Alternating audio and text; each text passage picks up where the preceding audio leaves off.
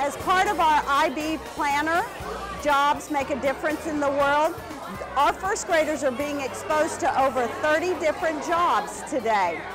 The presenters are parents of our first graders and volunteers. This has been a great opportunity to introduce my field of medical physics to young minds.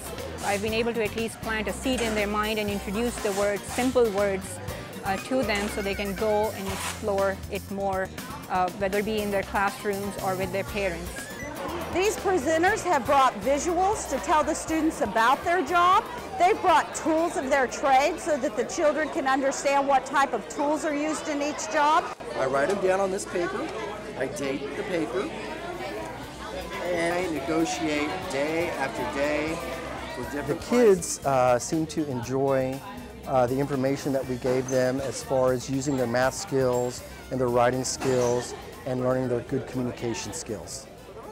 And these presenters are also preparing these children for college so that they know exactly what type of schooling they would need to be able to have this type of profession.